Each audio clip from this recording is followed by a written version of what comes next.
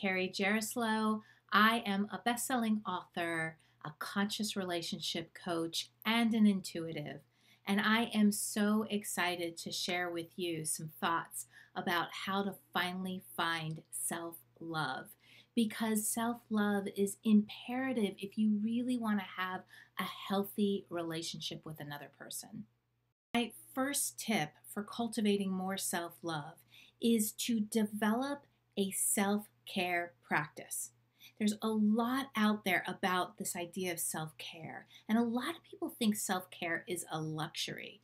But I will tell you that self care is essential. We have to take care of ourselves before we can take care of another person. And I look at self care as being practical and easy. We're all busy. We all have lots going on.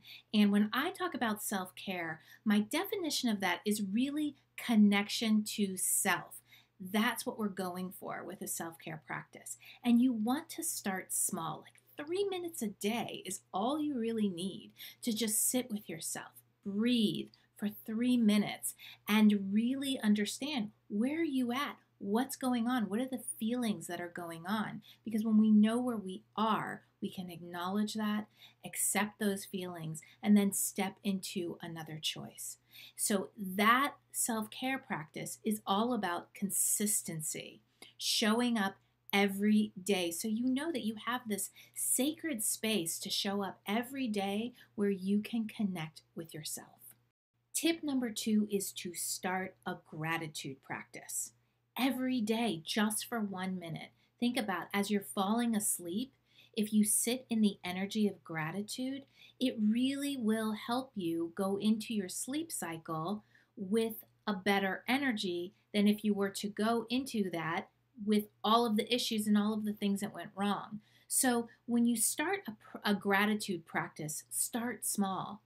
Start small. So, something like, I love this cup of coffee. It tastes so good. You put your hands over your heart, you close your eyes, and you just thank you for this coffee. Thank you for my legs that are keeping me up and allowing me to get exercise or walk. Thank you for the food in my refrigerator. Thank you for this pen that I'm holding. I love how it writes. I mean, it could be anything. And then when you get to that one little thing, could be one little thing, just milk it. Really sit in the energy with your hands over your heart about how thankful you are. It will start to create, if you do it every day, you'll find that it expands into more of your life. Tip three is learning how to accept exactly where you are and exactly what you feel. If you are having trouble in that gratitude practice, then start here. Because when we force something, we create more resistance and we will fight back to whatever we're trying to do because of that resistance. Carl Jung said, What you resist persists. But if we allow and accept the feelings that are going on within us and say that I am okay for feeling it, then the energy really starts to move. So, hand over heart, close your eyes and say, I feel really sad right now, and that's okay. It's okay. It's okay. It's okay. Sometimes when I'm really resisting something, I double down in my acceptance practice. I just identify what I'm feeling and I tell myself it's okay. Because many times those feelings are just there because they want to be seen and acknowledged. Tip number four trust that everything in your life is helping you to evolve as a person. Okay, this takes our mental mind chatter and our dialogue from why is this happening to me to why is this happening for me? It creates a state of curiosity, and that helps to create more self love.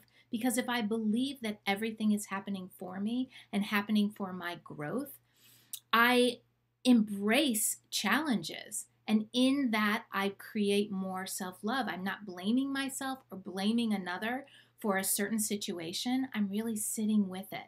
I'm taking that acceptance practice that it's okay that I feel this way. Then I'm going into gratitude, saying thank you for bringing this experience into my life because I know that this is helping me to evolve on my own life journey.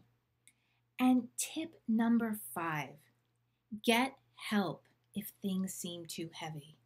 I know when I am looking at something that is so challenging that I just can't possibly see the sun through the clouds, I reach out to a coach or someone or a friend, someone who can help me understand what's going on. That's really important. And so find someone who you feel resonant with. If you have any problems, reach out to me. I'd love to help you.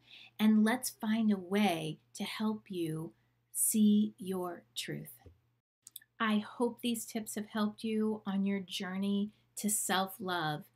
It is a continual process. Just know we're always going deeper within our self love. But if you can become your most intimate partner, you will show up in a space of love and forgiveness and acceptance to those around you. Please reach out to me if you have any questions. I'd love to connect.